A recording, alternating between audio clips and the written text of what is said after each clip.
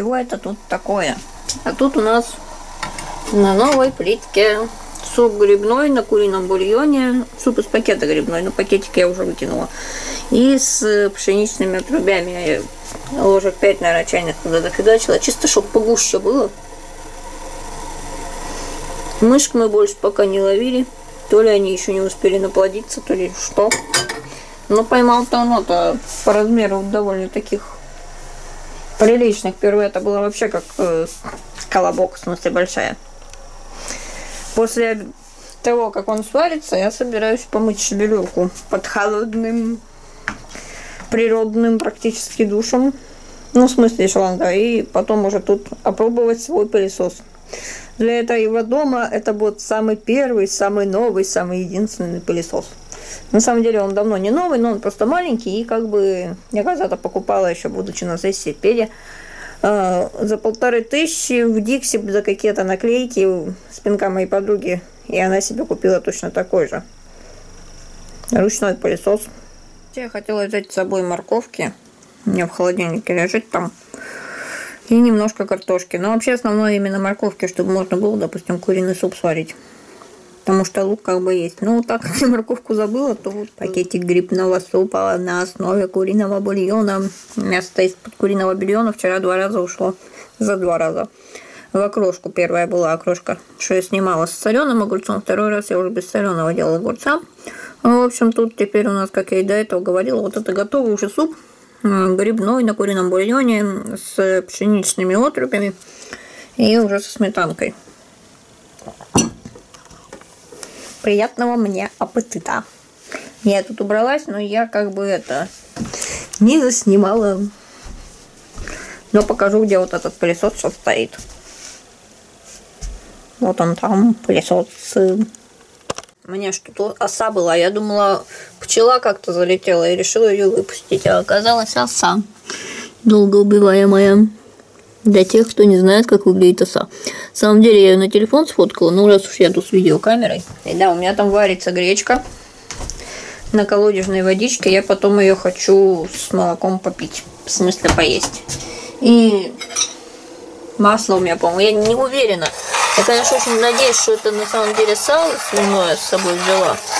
Но есть шанс, что я перепутала и взяла козье сливочное масло. Но если это сливочное масло, то я потом его сюда положу в кашу.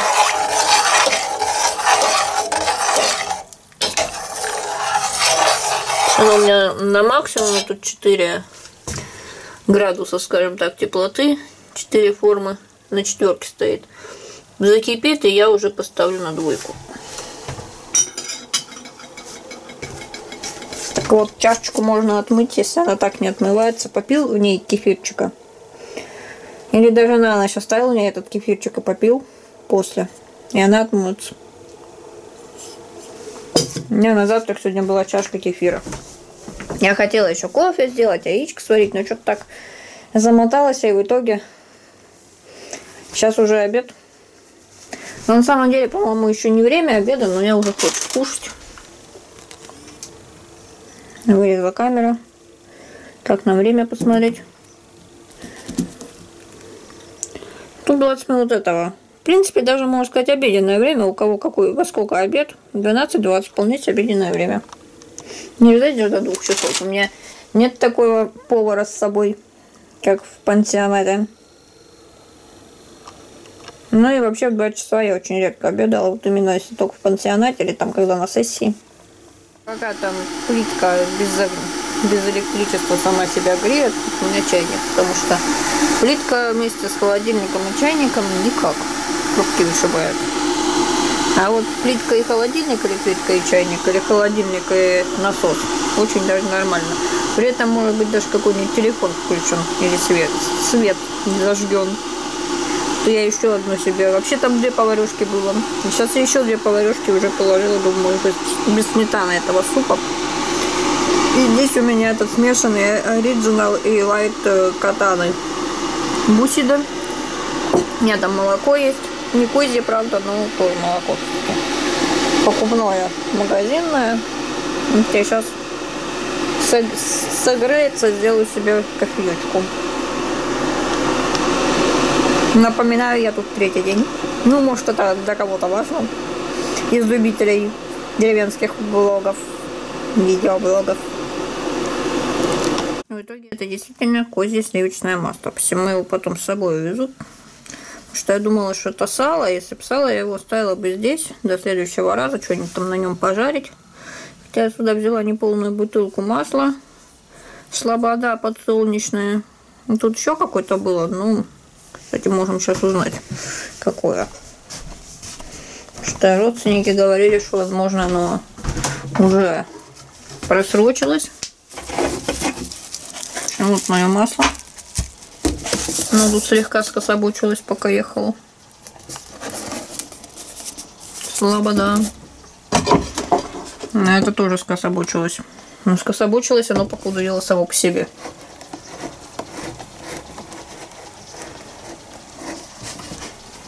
Деньги у него там срок бытия есть.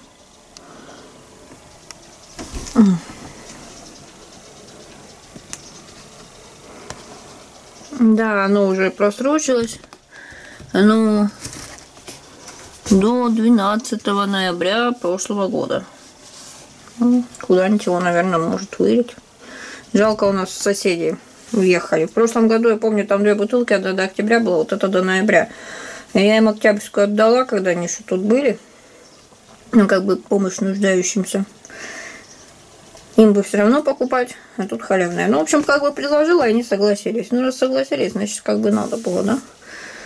Что выкидывать еду, если есть люди, которым она вполне себе пригодится. А вот сейчас их нет. Но, с другой стороны, на нашей части их нет, потому что деревня в итоге чистая. Нет такого срача, как раньше было. Ну и с другой стороны, куда это масло девать, совершенно без понятия.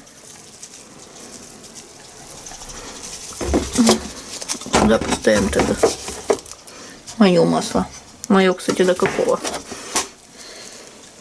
То ведь я та еще белочка. Так, она у нас 24 февраля 2019 года свояяная. Она, наверное, год живет. Или как-то так. Ну, пока на кашу. Посмотрите. Да, 12 месяцев у него срок годности. В общем, до февраля следующего года. Ну, я думаю, ну, здесь, конечно, не достоит. В крайнем случае, если когда будем уезжать, и тут останется это масло, я его просто возьму обратно с собой в город, чтобы оно не пропало. А это надо будет куда-то девать. Оказывается, можно растирировать слой и еще раз, и, наверное, еще раз, еще раз, еще раз. А, так как интернета тут нету, и мне поделиться своим восторгом не как с товарищем по несчастью, то я решила на камеру это записать. А, что-то похолодало, я даже немножко, ну, часик, наверное, подремала. Вынесла свой планшетик, чтобы отредачить тут, ну, доклинить, оказывается, это не клинило даже ту страницу. Но что-то так холодно, ветрено. Думаю, надо этот планшетик обратно убрать и уже дома это сделать. В общем, дома на планшетике доделать то, что здесь тайпом не... То, что после тайпа останется, скажем так. Кто-то что-то где-то пилит. И специально идти пешкадралом было бы как-то уж совсем палевно. А я перед этим думала, прокатиться еще или нет ну, как бы солнышко, полдевятого где-то так. И в итоге любопытство пересилило. Правда, сейчас уже прекратили пилить. Но если дерево, то на обратном я замечу. Не поеду по круговой. Поеду, ну, в смысле, по круговой, по кругу не поеду, а так чисто вот недалеко. Достаточно недалеко, скажем так. И Решила проехаться, думаю, если дерево пилили, то увижу. Если распиливали бедную ферму, от которой так практически ничего не осталось, то тем более увижу, ну или хотя бы увижу уже потом. Вот это вот то, про что я до этого как-то говорила, может быть, вчера еще когда снимала.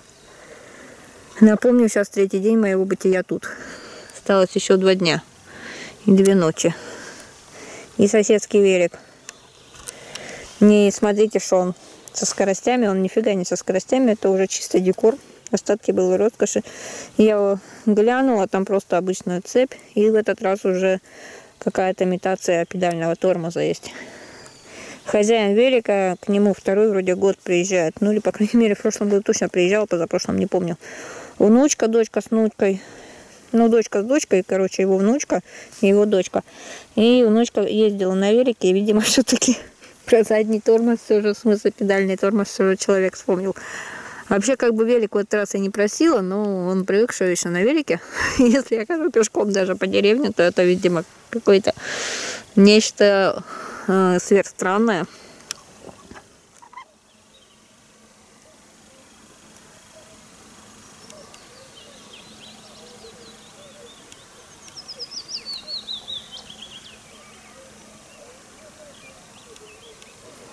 Может, меня, конечно, глючат, но там, кажется, голоса какие-то. Потом буду монтировать, может, уже в углича. Если услышу в записи в наушниках специально попробую. То, значит, там действительно голоса, не глюки. Вообще, когда я сюда ехал, тут прямо это дорога на... Вообще совсем, если прямо не сворачивать, ну, в смысле по ней идти, ехать, э, просто есть там развилки налево, налево, налево, то можно выехать к Хому, э, даже не к Хомутову, можно выехать как-то очень прямо к Шишкину. Но я никогда до туда так далеко не ездила.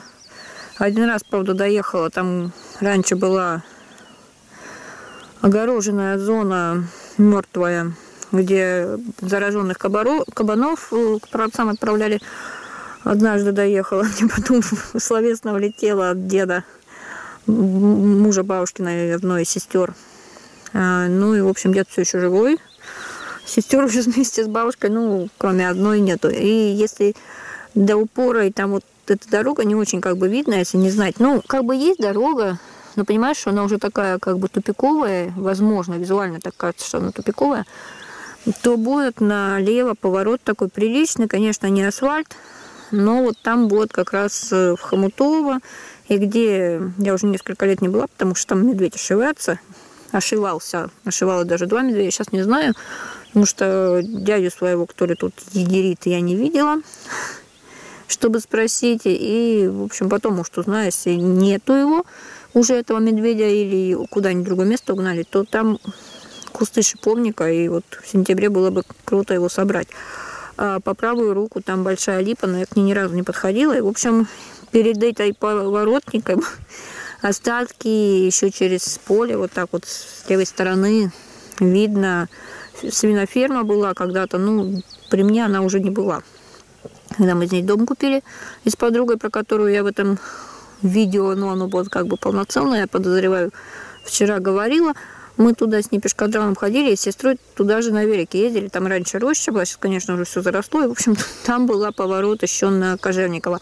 И сама дорога называется на Кожевниково что-то едет, я, пожалуй, пока отрублюсь. Короче, пока я ехала, тут кукушка кукукала, я вот не знаю, услышалась она камера или нет.